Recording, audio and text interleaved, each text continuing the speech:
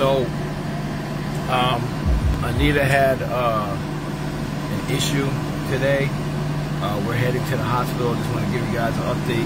Um, she just got out this morning, walked, got washed up and everything, walked and sat down, and then complained that her stomach was hurting and she was hot, and then she just went lethargic. She just um, looking like staring out to nothing, not blinking, and um, she was not responsive.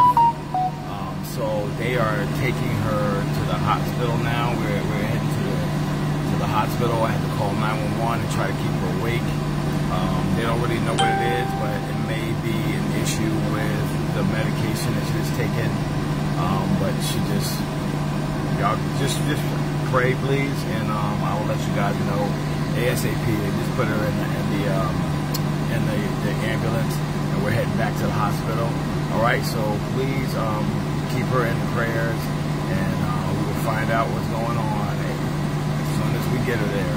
Um, they're gonna test on her, so just call for some prayers. All right.